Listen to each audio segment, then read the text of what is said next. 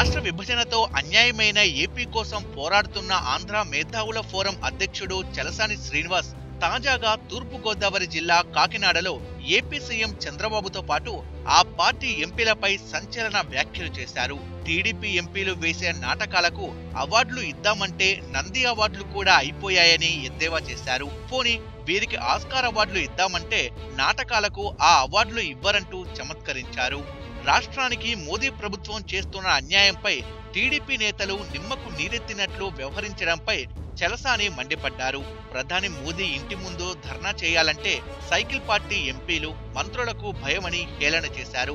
AP అన్యాయంపై ధర్నా చేయాల్సింది శ్రీకాకుళంలోని అధికారుల ముందు కాదని ధైర్యం ఉంటే నరేంద్ర మోదీ నివాసం ముందు చేయాలని ఈ సందర్భంగా చంద్రబాబుకు సూచించారు. ఒకవేళ మీకు ఆ ధైర్యం లేకుంటే ఓసారి గదిలోకి వెళ్ళి ఎన్టీఆర్ చిత్రపటం చూసి ధైర్యం తెచ్చుకోవాలని చంద్రబాబుకు వ్యంగ్యంగా సలహా ఇచ్చారు. విభజనతో తీవ్రంగా నష్టపోయిన ఏపీపై కేంద్రంలోని బీజేపీ నేతృత్వంలోని ఎన్డీఏ ప్రభుత్వం సీతకన్ను వేసిన సంగతి తెలిసిందే. కేంద్రంలో మిత్రపక్షంగా ఉన్న బీజేపీపై చంద్రబాబు మెతక వైఖరి చేస్తున్నారన్న ఆరోపణలున్నాయి.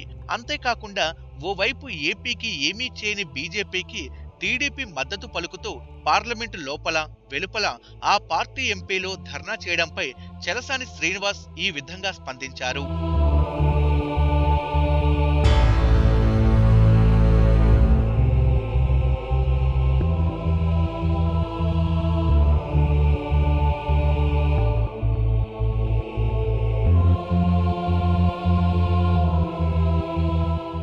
Hi, Vijay Devarakonda please do subscribe to new waves ఇలాంటి మరిన్ని మంచి వీడియోలు కావాలని కోరుకుంటున్నారా? అయితే పక్కనే ఉన్న గంట సింబల్ను క్లిక్ చేయండి. అలాగే సబ్స్క్రైబ్ చేయండి.